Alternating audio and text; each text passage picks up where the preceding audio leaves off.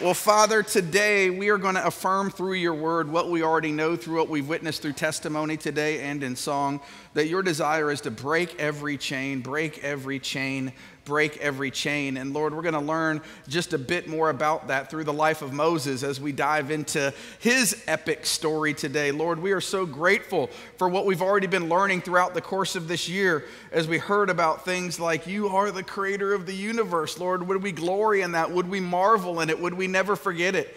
Would we remember the ramifications of the fall and the impact that it's had on each of our lives and the pain and suffering that's in this world? But would we also remember that it was in your plan from the very beginning that you would send a rescuer? That rescuer is none other than Jesus. Thank you for giving us types and shadows of him through the lives of Joseph and through the lives of Abraham and even through the lives of Moses as we study it today. Lord, we can't thank you enough for your miracle working power. Lord, would we learn more about it today as we hear this word, let my people go? And Father, would that be a word for today for those who are here who have loved ones or who themselves find themselves in bondage, that the God of the universe is speaking, let my people go to the devil. The devil has no opportunity. Lord, we ask you to bind up the devil, to keep all the ears open, all the eyes open, that we could hear and see exactly what you want to do and say in our lives, and keep him from the oppression that he wants to bring. Keep him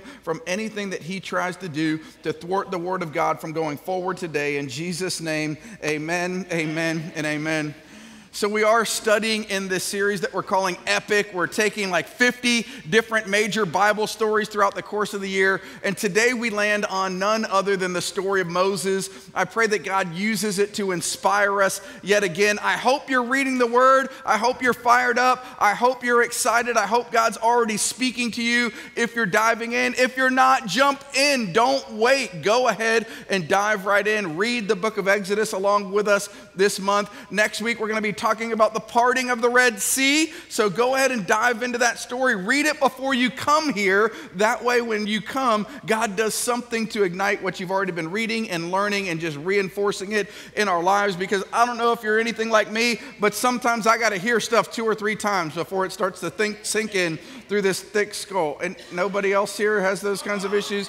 Lord, help me, help me so that we could learn together. So, this story really picks up a little bit where the story of Joseph falls off when we look at Exodus chapter 1, verse 7. It really ties the two stories together. If you weren't here last week, be sure to go on our app or our website, download that last message, watch it, share it. God will continue to use it. So, Exodus 1 7 is where we're going to pick up today.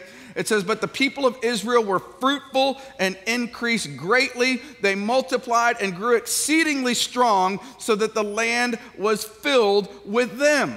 So we enter into this story with God's people thriving, God's people prospering, God's moving in their midst. And we see this story repeated historically time and time again as a people group, but also as individuals in our own life. I want to personalize this at the same time that we look at this greater story that God's doing. So, what happens is one of two things seems to happen in our lives individually or corporately as a movement, be it Christianity or Judaism, as they're talking about in this particular story. But what happens is when things are going good, when things are multiplying, when God's people are doing good, either we short circuited ourselves or the devil wants to get in there and stop the move of God from happening.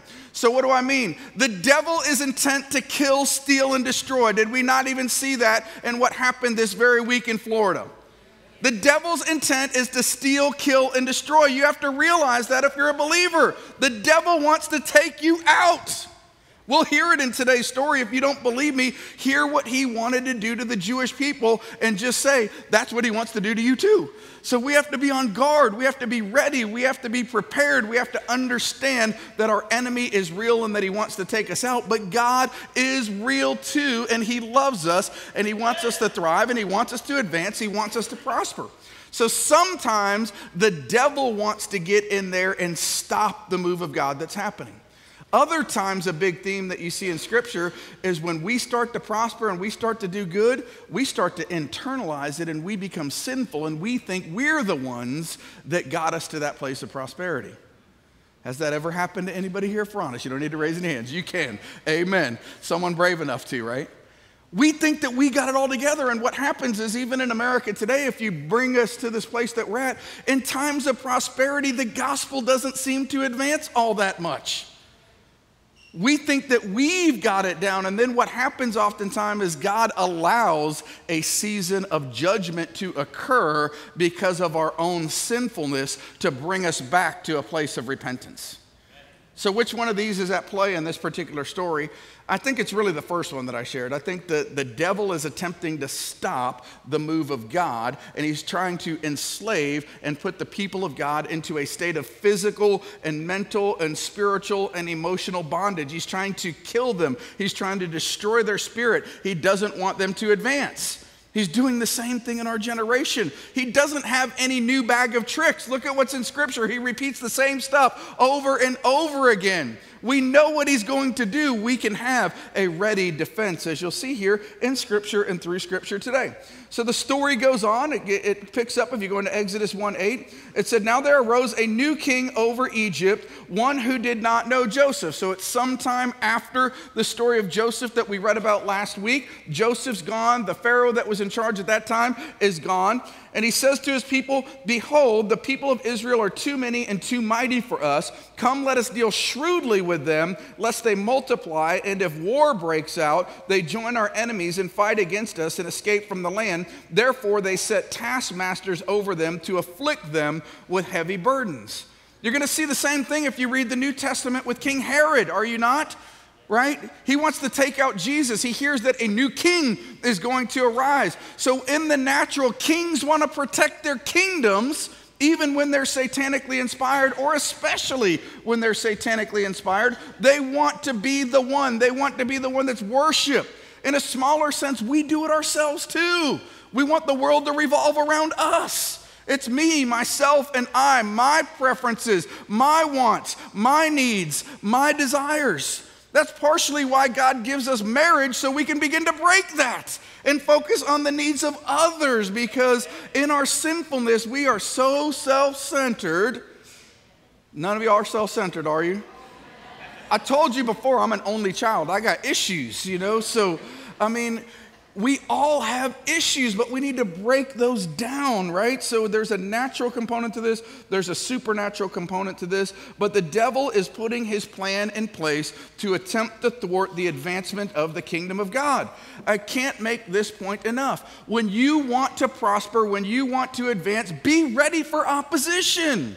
It's gonna happen. The devil's going to try to stop what you're doing and discourage you from advancing in the kingdom of God and growing up to be a fully devoted follower of Jesus. But God will get the victory. Know that you have God actually praying for you. It says in scripture. Exodus 1:12. But the more they were oppressed, the more they multiplied and the more they spread abroad, and the Egyptians were in dread of the people of Israel. So they ruthlessly made the people of Israel work as slaves, and they made their lives bitter with hard service in mortar and brick and in all kinds of work in the field. In all their work, they ruthlessly made them work as slaves. So they wanted to enslave them. This story of Egypt is always one of bondage and breaking of bondage by the power of the Holy Spirit. The bondage was broken because God comes in and intervenes when the people of God begin to cry out and say, Enough is enough. So the devil wants to keep them down. Doesn't it seem in life, as I shared earlier, when things tend to be going good, don't we tend to slip from our relationship with God? What kind of protections might we put in there where we would remember, like when things are going good, it's God who brought us to this place of goodness? Lord, would we not forget? Would we not fall back into these same patterns? Would we remember where our source comes from, right? Oppression yet expansion, how is that possible? Diamonds are made from great pressure, are they not, right? Look back at Joseph from last week. He's thrown into a pit, he's sold as a slave, he's falsely accused of rape, he's thrown into jail, he almost gets out, he has to wait two more years. And then God finally puts him by Pharaoh's side where he comes to that position and place of influence. Would he have ever got to that place with the wisdom that he had without going through the pressure cooker? Probably not, right? So maybe look at some of the challenges and pressures you're facing in life as God allowing a test to occur in you to refine you and mold you and make you into the person that He wants you to be. If things are going good and easy all the time, we don't tend to press in. I guarantee you, Jack did a lot of pressing in when he got that, you know, that, that thing from the doctor that said, guess what? You've got cancer, right? Why do we wait? Not in his case, but why do we all have this tendency in our own sinfulness to wait till we get that doctor's note, so to speak, before we allow real change to happen in our lives? Why do we wait for the husband and wife, like we get calls all the time, where they come to us and they're like, My marriage is in a shambles, they're gonna leave me today. Your marriage started to be in a shambles probably six months ago. Why didn't you call us six months ago? My finances are in a shambles. Oh my God, they're going to take my house. They're going to do it. You knew you were having problems with your finances six months ago. Why didn't you come to us before you needed a miracle, right? Don't go on wallowing in these things. Don't go on holding. Don't go on waiting. Don't go on enslaved and in bondage when God wants to set you free. God wants to set you free. Don't find yourself trapped in that place for too long. Get help. Raise the white flag early. Can I get an amen, right? See, our faith seems to grow under pressure. Sadly enough, self reliance is the opposite of God reliance, and we need to begin to rely more on God than on our own selves. The parallels to today are astounding. All the more proof that what we believe is true in places where Christianity is suppressed, guess what? It is thriving. It may not look like this, where you got big buildings and you've got all kinds of bells and whistles, but let me tell you, in places where Christianity is being pressure tested, it is growing. And guess what? God's probably going to allow pressure testing in our generation right now, too. There's some trends that are happening in the church today. We're trying to discern them, we're trying to figure them out. We're trying to think them through because things are changing very fast in culture and society today. Do you know that about the same number of people call themselves members of Journey as they did a year or two ago? But look at how many empty seats are around you right now. People are putting less of an emphasis on God than they used to in previous generations. So rather than coming to church every single week like I did when I got saved, Man, I grew so much. You know how many times I've been in church, not just preaching and teaching, but from the time I was 22 years old, I didn't miss a church service unless I was sick, like Mary Jo is today. Y'all can pray for her. She got that flu. Come on, Jesus. She got the cooties. Come on. But in our generation, it's like, nah, I'll stay home. I'll chill out. All you people in your diapers and your underwear on stage, whatever, you know, I mean, like, come on. Get your butt offline and get into church somewhere where you're supposed to be. Don't be staying there if you're really legitimately sick. Amen. You know, if you're sick, please use it. That's what it's for. But there's something that you can't get unless you're in the fellowship with other believers. But people are putting less of an emphasis on that today. It's the strangest thing that I've ever seen. Why? Because maybe Christianity isn't being pressure tested right now. But maybe we're starting to get glimpses of it. There was a time I preached a message and I talked about some of the tactics that the devil used through Nazi Germany, through used through Hitler. Uh, one of the things that they started to do is first they started to poke fun at the Jewish people. And then after they started to poke fun at the Jewish people, they started to turn them into subhumans. They began to think of them as something that was not human because ultimately they wanted to call them cockroaches because cockroaches needed to be exterminated, right? Aren't you starting to see that on the world stage today? Think about guys like Mike uh, uh, Pence, our vice president, right? This week, Joy Behar came out and said, Oh, if someone talks to Jesus, that might be okay, but if Jesus talks back to them, that means they're crazy, right? So now all of a sudden, we as Christians are crazy. Or what do they talk about Tim Tebow? They were doing some of the same things to him. So all of a sudden, society and television is starting to say that you and I are the crazy ones and they are the right ones. What do you think their setup is? These are the early stages of what we're starting to see in societal change that ultimately leads to this place in Egypt where the Pharaoh, where the king declares that you and I need to be enslaved because we're crazy because we believe in this man named Jesus. And then let me tell you something churches aren't going to look like they look like today. But guess what? They're going to be more Christians practicing Christianity, but it won't be in buildings like this. They'll be scattered all around the place seeking Jesus. Why don't we seek him now while times are good and remember the goodness of our God like you're doing today. See, the things that need to be preached are often the ones that are not in the seats. Come on, Jesus, right? May they watch it later. Come on, Lord. I went far from my notes today. Come on. but you think I'm going to be in trouble for that one. So, where Christianity is suppressed, it thrives. So, again, what happens? Pharaoh ends up issuing a horrific uh, edict to kill all the young male Hebrew children. It ends up happening yet again at the time Jesus is about to be born. His desire is to kill, steal, and destroy. He wants to rob you, he wants to rob your marriage, he wants to rob you of life, and ultimately he wants to kill you and enslave you. That is his job. Enter chapter 2.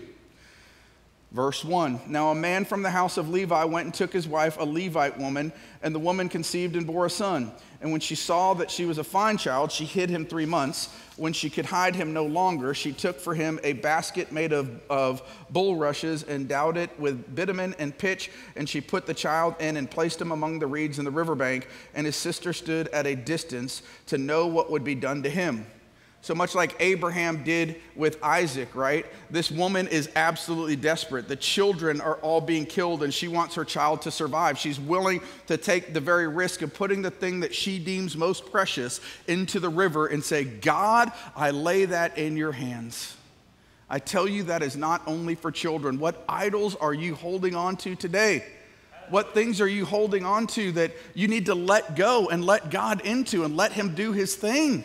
The thing that only He could do.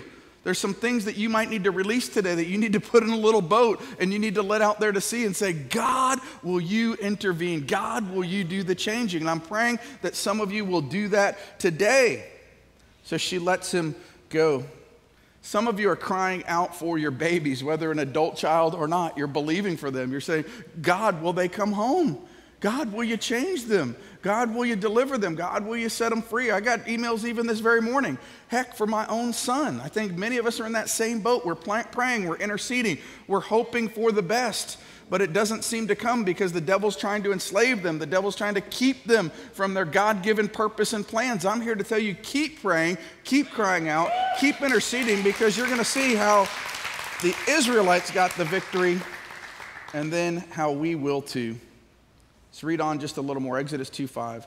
Now the daughter of Pharaoh came down to bathe in the river, and while the young woman walked beside her, she saw a basket among the reeds and sent a servant woman, and she took it. And when she opened it, she saw the child, and behold, the baby was crying. She took pity on him and said, This is one of the Hebrew children. Then his sister said to Pharaoh's daughter, Shall I go and call you a nurse from the Hebrew women to nurse for the child? And Pharaoh's daughter said to her, Go. So the girl went and called the child's mother, and Pharaoh's daughter said to her, Take this child away and the nurse with me, and I will give you your wages. So the woman took the child and nursed him. When the child grew older, she brought him back to Pharaoh's daughter, and she became her son, or he became her son. She named him Moses, or in Hebrew, Moishi, because she said, I drew him out of the water. What a miracle, again, that you're seeing here right? Think of Joseph that we talked about last week and how he ends up in jail and he ends up in all these situations just so he could be positioned right next to Pharaoh. What happens in this story? Not only is God so good that when she pushes that baby down the river, who ends up finding it? Only by divine appointment, it's Pharaoh's daughter, right? And then, not only that, when she goes looking for a wet nurse, someone to nurse that baby, it's his very own mama, so she gets her baby back. How good is our God? He can orchestrate these kinds of things in your life too. Would we trust in Him? See, under the most desperate of odds, when no human power will suffice, God will make a way where there seems to be no way. This is the amazing God that we serve. May we never, ever, ever forget that. As the story goes on, Moses is grown up and and 2:11 it says one day when Moses grown up he went out to his people and looked on their burdens and he saw an Egyptian beating a Hebrew one of his people so something inside of him sees injustice and he's willing to step up He's willing to make a difference. He's willing to go out and, and in this case, actually act in a bad way, and he kills the guy, right? Not a good thing, right? That's not what we're supposed to do, right? We're supposed to pray, we're supposed to intercede, we're supposed to intervene, but God is doing something and it's hard. And another thing you might see here is no matter how gross your failures, when you repent, God can use you. There's nothing that you can ever do to separate you from the love of God that is in Christ Jesus. No matter how gross you think your sin is, no matter how far you think you've strayed from Him, if you will say, God, will you forgive me? I love you. I am sorry. I want to serve you from this day forward. He will forgive you and he will use you in the mighty and glorious name about of Jesus. This next passage is not so much about Moses. I think it's about what God's heart is for his people. Exodus 2 23. During those many days, the king of Egypt died, and the people of Israel groaned because of their slavery and cried out for help. Their cry for rescue from slavery came up to God, and God heard their groaning, and God remembered his covenant with Abraham, Isaac, and Jacob. God saw the people of Israel, and God knew. God knew. Would we stop complaining and we start crying out? Personally and nationally, when we see crazy stuff out there, right? when we complain about society continuing to degrade and this going on and that going on, would we start groaning? Guys, we need to start getting desperate for God, desperate for the creator of the universe. Our lives need to revolve around this thing called Christianity and this man named Jesus. He needs to be first and foremost in our life. If, I'm, if the things I'm saying are true and the devil really wants to take us out, if you think our five minute a day prayer life where we say, Jesus, would you bless this food in the mighty name of Jesus and make it not go to my hips in Jesus' name, is going to help you while you're eating fried chicken, come on, Lord. We need to get down and dirty and into the weeds. That's the season that we're in because I'm telling you, this season of grace that we've been experiencing is one day going to come to an end. And it might happen faster than any of us can imagine with some of the world events that we see on the timeline right now. Let's not wait until that moment of desperation. Would we begin to cry out now for our families? Would we begin to cry out for our city? Would we begin to cry out for our nation? Would we not wait, but would we do it now? The time is now because God is listening and He knows. My last verse for today, Exodus 3 7. Then the Lord said, I have surely seen the affliction of my people who are in Egypt and have heard their cry because of their taskmasters. I know their suffering. I have come down to deliver them out of the hand of the Egyptians and to bring them up out of the land that is good and broad land and into a land flowing with milk and honey. That's God's desire for you. It may not be a physical place, but a place of peace and wholeness and spirit, soul, and body. A place of freedom, a place of opportunity, a place where we love the Lord our God with all our heart, strength, soul, and mind, and we're free from the bondages of this life. But we got to pray, we got to intercede because here's what happens. If you know the story, um, you know, Moses doesn't just walk up to Pharaoh and say, let my people go. And it immediately happens. Do you remember that? See, I have a saying. You might have heard me say it before. Strongholds are strongholds for a reason. Those things that are keeping you from giving God your all in the air of your finances are a stronghold in your life. Those things that are keeping you from serving God with everything that's within you, those sins that you want to cling to and hold on to, or maybe you don't want to cling to and hold on to, but you've had trouble getting past them, those are strongholds. They don't come down easily. Moses had to say to Pharaoh a number of times, seven, I think, right? Let my people go. Let my people go. Let my people go.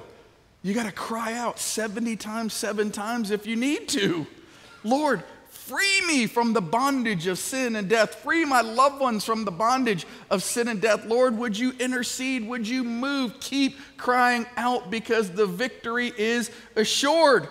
When you read on, guess what? After that last let my people go, after the Passover, and we're going to talk about the Passover during our Easter services, it coincides perfectly with the timing of that.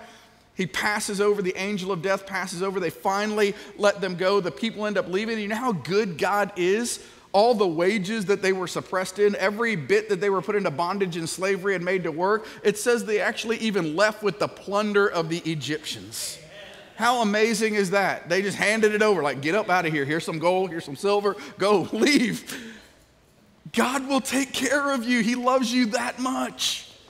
He loves you that much. I pray you believe that today. Would you rise with me and bow your heads and close your eyes? Hebrews 4:10 says this, "For we do not have a high priest who is unable to sympathize with our weaknesses, but one who in every respect has been tempted as we are yet is without sin." Father, as we've heard this story of Moses today, even in those moments where I digressed, I pray your word showed through. I pray that your spirit showed through where you knew the cries of our hearts. Lord, would we be quick to cry out and not hold on to those things that enslave us and ensnare us? Would they not become friends that we're comfortable with? Would we not be stricken with a syndrome where that becomes normal to us, Lord God? Father, would we be a passionate people who are sold out to live for you with everything that's within us? Would we not fear that in the advancement of the kingdom of God in our lives or in our people as Christians, would we not fear the devil's coming attacks, Lord God, because the weapons of our warfare are not natural in nature, but they are supernatural to the pulling down of strongholds in Jesus' name? So I ask you right now to pull down the strongholds that might be enslaving the people of Journey Church. We come against them and we knock them down in the mighty and glorious name of Jesus, the King of Kings, the only name that really matters, that name that is above every other name, that name that every knee shall bow and every tongue shall confess that Jesus Christ is Lord. I pray that we do it willingly in this life while things are good and don't have to do it unwillingly one day when we reach that judgment day when you, when you come to us and say, who, who is my son and what do you believe in him? And we would all just declare together that Jesus truly is the Son of the living God who died on the cross and rose again. And Lord, would you be the Savior of my life? See, that's the starting point. Maybe you're here today and you've never made that declaration. I pray that you would do just that today, that you would surrender your life to Jesus. For others of you, you are believers, but maybe you've been kind of walking a little bit of a different direction, and you just know that today's the day you need to come home. Today's the day that you need to put Him first. From this moment forward, you want to walk in might and power and the anointing of the Holy Spirit. If that's you, I want to pray for you. I promise I'm not going to embarrass you, but I want to join hands with you and pray with you. So if today's a day where you need to dedicate or rededicate your life to God, here's what I'd ask would you raise your hand up real high while nobody else is looking right now? Is that you today? Is there anyone here today that needs to surrender their life to God? I see your hand, sir, and your hand, sir. Thank you, Lord, and your hand in the back. Hey, here's what I'd ask you to do. I promise I'm not going to embarrass you, but I do want to pray with you. If you raised your hand, would you come right here to the front? I'd love to pray with you and intercede with you. Everybody around you will clap for you. I saw a hand in the back right there. Our men, come on. Welcome home. Welcome home, baby. Welcome home. Welcome home. God bless you. So glad you're here. Lord, I join with these men today and we are fired up for them, Lord God. The Spirit of the living God and the anointing thereof, may it be upon them and rest upon them in mighty and powerful ways, Lord. Father, would you just bless these men as they say today, whether for the first time or as a means of rededication, that Jesus, you truly are the Son of the living God who died on a cross and rose again. We all affirm that in them and in our own lives. And we declare today that, Lord, from this moment forward, we will serve you, we will live for you. We ask you to protect us and guide us and direct us. Forgive us for those moments that we might have strayed and tried to do things on our own and in our own power, Lord God. Would we just repent of that right now in the name of Jesus? Would we take you at your word? Would we trust you in your word? Father, would we lay aside every weight of burden and sin that so easily entangles? Would we lay it by the wayside? Would we lay it at your feet at the foot of the cross this very morning? Would we we walk out of here in freedom and might and power and the anointing of the Holy Spirit. In Jesus' name, amen, amen, amen. Give them one more big round of applause. God bless you guys. Keep coming back. You're making a difference. Bring somebody with you. God bless you guys. Have a wonderful week.